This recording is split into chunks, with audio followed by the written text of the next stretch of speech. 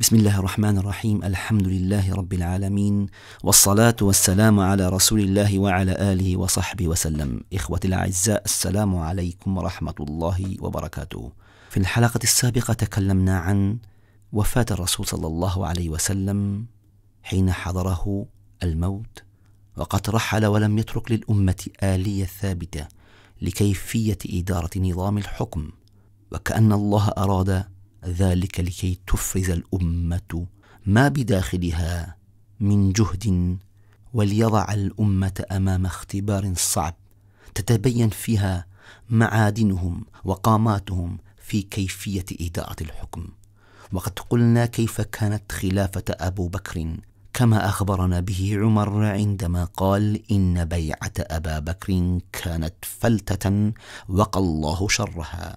عندما اجتمع الأنصار في سقيفة بني سعد ظنا منهم أن الخلافة يجب أن تعود إليهم.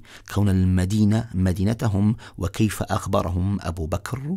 برؤيته الاستراتيجية الواسعة وبصيرته الثاقبة أن الأمر أكبر من المدينة بل تمس الجزيرة العربية وما بعدها وأن العرب لا تدين إلا لهذا الحي أي قريش. وكانت بيعة أبو بكر. وقلنا كيف تم اختيار عمر؟ أنه كان ضمن رغبة ملحة من قبل أبي بكر. وكيف أدار عمر الخلافة لمدة عشرة سنوات؟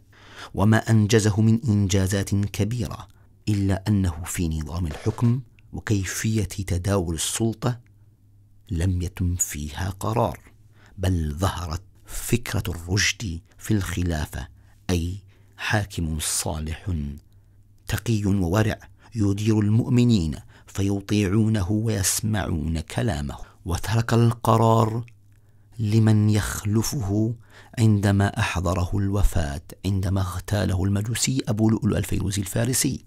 وكيف اختار ستة من الصحابة ليختاروا من بينهم وكيف تم اختيار علي وعثمان؟ وكان الأمر سيستتب لعلي لولا شروطهم بأن يتبعوا نهج وطريق الشيخين أي أبو بكر وعمر.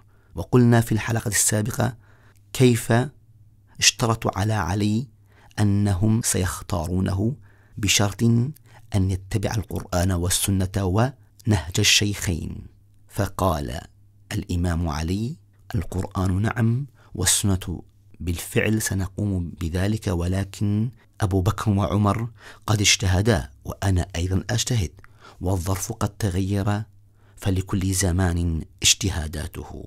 لكن عثمان وافق أن يتبع نهج عمر وأبو بكر بالكامل فتولى سيدنا عثمان الخلافة. أما في هذه الحلقة فسنبين ما جرى في عهد عثمان بشأن النظام السياسي فقط. وهذه الفترة بالذات من الصعب تحليلها والغرض منها هي لتشكيل نظرة عن ما نعاني منه حتى الآن. ونحن سنقوم بعون الله تعالى بتحليل موضوعي لهذه الفترة التي هي غامضة عند عامة المسلمين. فالأمر خطير والأمر مهم للغاية لكي ندرك ما نعانيه ولكي نفرز ما بداخلنا من أطر ومن أفكار ومن تجديد في الفكر لكي نقوم من بناء نظام سياسي يوافق الشرع وروح الشرع. فعندما تولى عثمان بن عفان رضي الله عنه الخلافة دامت خلافته من السنة الثالثة والعشرين للهجرة إلى السنة الخامسة والثلاثين للهجرة أي دام حكمه ما يقارب اثنا عشر سنة. من الحكم في الست سنوات الأولى سلم الله وكان الأمور سارية بشكل حسن. لكن كما يقال أن السعادة لا تكتمل. من المعلوم أن سيدنا عثمان كان رجلا كبيرا في السن بعد الست سنوات من الحكم وهو كان من بني أمية. ومعروف أن بني أمية كانت لهم قبل ذلك نفوذا كبيرا جدا. والمعروف عنهم أيضا أنهم كانوا ذو حنكة سياسية ولهم القدرة على إدارة المجتمعات لأنهم كانوا أهل سلطة وأهل إدارة وحكم. والرسول صلى الله عليه وسلم ولى منهم أمراء وفي عهد أبو بكر تولوا وفي عهد عمر تولوا والآن جاء كما يقال ابن العم أي سيدنا عثمان. إلى الحكم. اذا الدائرة الآن اكتملت فابن العم في الحكم وهؤلاء الناس في الحكم يمسكون الولايات وستكتمل الدائرة عندما يضاف له شخص آخر الذي أصبح من مستشاريه ووزيره أي بمثابة رئيس الوزراء وهو المروان بن الحكم وكان صاحب ختمه وهو من أبناء عمومته. إذا الدائرة اكتملت لأبناء العمومه ومن المعلوم أن مروان هو ابن الحكم بن العاص. ففي عهد الرسول صلى الله عليه وسلم كان عمر مروان خمس سنوات. أما الحكم بن العاص فكان ما يقارب الخمسة والثمانين من السنة. الحكم بن العاص من المعروف أنه يلقب بطريد رسول الله صلى الله عليه وسلم فقد طرده الرسول صلى الله عليه وسلم ونفاه من المدينة إلى الطائف. وهناك أحاديث صحاح صححه الألباني عن أنه لعنه أيضا. المهم جيء بالاثنين إلى الجوار مع أن أبي بكر وعمر لم يفعلا ذلك. إذا هناك أمور لم يفعلاه أبو بكر وعمر وفعله عثمان كخليفة للمؤمنين. وله شأنه في الإدارة وله خصوصيته في إدارة الحكم. فمن التغييرات التي قام بها هو المجيء بالإثنين وهما المروان بن الحكم والحكم بن العاص وجعل من مروان بن الحكم من مستشاره ووزيره. ومن التغييرات الذي قام بها سيدنا عثمان هو أن عزل سعد بن أبي وقاص من ولاية الكوفة وجعل أخوه لأمه مكانه وهو الوليد بن عقبة. ولكنه تم عزله لكون تعرضه لذنوب لا نذكرها هنا إلا أنه استبدل بسعيد بن العاص وهو أيضا من أبناء العومة أيضا. ومن الأمور الذي قام بها هو عزله بأبو موسى الأشعري كوال للبصرة وعين بداله عبد الله بن عامر بن كريس وهو ابن الخال. ومن الملفت هو أن جعل من معاوية بن أبي سفيان أميرا على الشام كلها أي الشامات وهي في العصر الحالي تشمل لبنان وسوريا وحلب. وعازل والي حمص الورع. طبعا من الجدير بالذكر أنه معاوية كان آمرا لدمشق فقط وقد عينه عمر بن الخطاب ولكنه كان تحت يده وأمام عينيه أي في عهد عمر لم يستطع معاوية أن يستنفذ في الحكم كما جاء إلى الحكم من أبناء عمومته. أي أن سلطته كانت محددة في عهد عمر وكان منضبطا في عهد عمر. أما لما تولى عثمان الحكم وهو من أبناء العمومة ولم يكن له الشخصية القوية الذي كان يتميز بها عمر فبالطبع قد توسع نفوذ معاوية وهو المشهود له بالحكة والدهاء السياسي. ومن الأمور الأخرى الذي قام بها عثمان بن عفان رضي الله عنه أنه عزل عمرو بن العاص والي لمصر الذي كان هو فاتحها وعين بداله عبد الله بن سعد بن السرح. أخوه في الرضاعة وهو من أبناء عمومته أيضا. وكون أن مصر والكوفة وخاصة مصر كان لها مكانة حساسة ومهمة جدا لدولة الخلافة فلا بد أن نقوم بتحليل الموضوع لحادثة تاريخية غيرت مجرى التاريخ الإسلامي. فمن هو عبد الله بن سعد بن السرح؟ قلنا أنه من أبناء عمومة عثمان وهو الذي قد أسلم قبل الفتح وكان من كتاب الوحي لكنه باين الوحي وارتد والتحق بقريش وكان من الذين أهدر النبي دمه ولو كان على أستر الكعبة. وفي فتح مكة أتى سيدنا عثمان بن عفان عند رسول الله صلى الله عليه وسلم وقال له يا رسول الله هبه لي فاستدار النبي وجهه وأشاح بوجهه فتوجه عثمان إلى وجهته وقال مرة أخرى هبه لي يا رسول الله فأشاح بوجهه مرة أخرى فتوجه عثمان إلى وجهه وقال في المرة الثالثة هبه لي يا رسول الله حتى عفى الرسول صلى الله عليه وسلم عن عبد الله بن السرح. وقال صلى الله عليه وسلم في رواية هل من أحد أن يقتله قبل أن أراه؟ فقال الصحابة يا رسول الله كنت تغمز لنا حتى نقطع رأسه. فقال صلى الله عليه وسلم ما كان لنبي أن يكون له خائنة أعين. نعم كان سيدنا عثمان محبا كثيرا لأهله. المهم أن نعرف أن من اجتهادات سيدنا عثمان أنه يصل الأرحام. ولهذا ومن هذا الباب قد جمع من أبناء عمومته حوله. وهي في الحقيقة في الجانب السياسي لم يتبع في هذه النقطة نهج الشيخين أي أبي بكر وعمر. لذلك هناك روايات تقول أن عمار بن ياسر قد جادله في هذا الأمر حتى وصل الأمر لجدالهم أن عثمان بن عفان غضب وقال له والله لأستعملنهم على رغم أنف من رغم. فقال عمار وعلى رغم أنفي. فقال له وعلى رغم أنفك. فقال له عمار وعلى رغم أنف أبي بكر وعمر. أي ذكره بالبيعة وشروطها كون أن أبو بكر وعمر لم يفعل ذلك لكن عثمان غضب. وضربه لكنه ندم وجاء بطلحة بن الزبير ليصلح بينهما.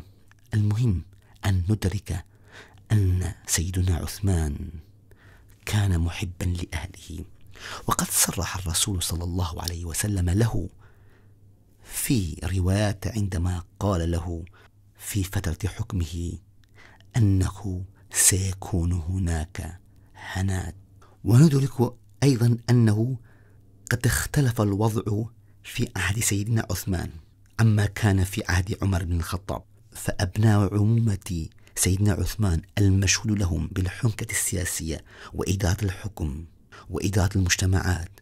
هؤلاء أصبحوا لا يخافون لأن عثمان رضي الله عنه كان مشهودا له بأنه هو الحي الغني المحب كثيرا لأهله. وهذا الحب الكثير لأهله جعله ضعيفا نوعا ما أمام أبناء عمومته. فبدأ هؤلاء في سلوكياتهم مع الولايات بشكل مختلف عما كانوا يتعاملون معهم في عهد عمر وأبو بكر وما ألفه الناس. ففي مصر مثلا كان فيها أبناء الصحابة يعني أولاد أبو بكر الصديق وغيرهم من الصحابة كانوا موجودين في مصر.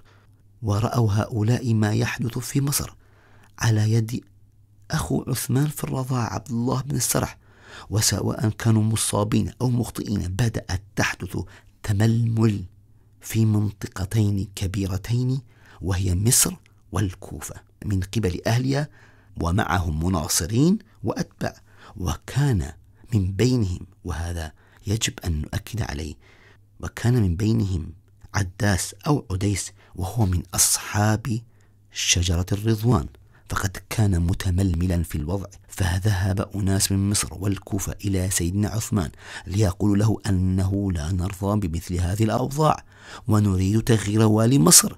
وقد سمع منهم سيدنا عثمان لكن بعد نقاشات طويلة وكان أحدا مثل عديس وغيره يحرضون على سيدنا عثمان في المساجد. وكان يأتيهم عثمان ويناقشونه فيبكي أحيانا ويعتذر أحيانا ويرفض ما يقولونه أحيانا أخرى لكنهم طالبوه أن يفعل شيئا باتجاه هذا الوضع. فوافقهم سيدنا عثمان الرأي وكتب كتابا بعزل الوالي في مصر وتعيين محمد بن أبي بكر واليا عليها. إلى هنا الروايات سالكة ولا مشكلة فيها. فقعد القوم فرحين أنه سيكون لنا وال جديد وهو ابن أبي بكر وقد حلت المشكلة. لكن في الطريق حدث شيء ما وفيها العشرات من الروايات وهذه الروايات متناقضة. بعضها يقول أنه كتب كتابا آخرا لما فتحوا وجدوا أمرا بإعدامهم جميعا. وهذا مستبعد عن شخصية سيدنا عثمان رضي الله عنه بطبيعته. وهناك رواية تقول لا بل أنه دعم بكتاب آخر جديد وتم إلغاء الكتاب الأول لتعيين والي جديد. المهم بغض النظر عن الرواية فقد استعر الغضب بين هؤلاء القوم وعادوا إلى عثمان وقالوا له كيف أنت أعطيتنا هذا الكتاب ثم تنقضه؟ قال سيدنا عثمان ما فعلت ذلك وما حصل هذا الشيء؟ فقالوا له طيب أليس هذا الختم موجود؟ وهذا الخطاب موجود؟ فنظر فإذا بالذي كتب الكتاب واستخدم خاتمه هو كاتبه وهو أحد أقاربه وأحد أبناء عمومته دون علم عثمان. وهنا تفاجأ سيدنا عثمان بهذا الكتاب وقال هؤلاء لسيدنا عثمان ما دمت بريئا من هذا الموضوع وهذا الكتاب فسلمه لنا الذي قام بهذه الجريمة لنقتله. طبعا لم يفعله سيدنا عثمان.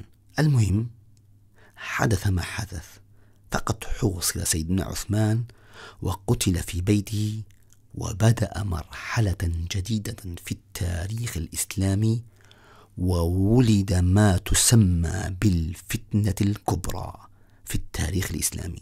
الروايات متضاربة وقابلة للتأويل في اتجاهات متعددة فالذي يريد أن يدافع عن التاريخ يرويها برواية والذي يريد أن يفهم ويقرأ برواية أخرى وهكذا. طبعا الإنترنت والفضائيات مفتوحة وكل يستطيع أن يتابع إن أراد ذلك لكن ما زلنا نعاني نفس المشكلة والمثلبة التاريخية التي ولدت مع أول مشكلة وهو أننا نغرق في الدفاع عن الأشخاص وليس الدفاع عن الموضوع. ما هو الموضوع الرئيسي الذي شكلته ظاهرة الفتنة؟ ظاهرة الفتنة يا اخوتي الأعزاء عكست أول مشكلة كبرى.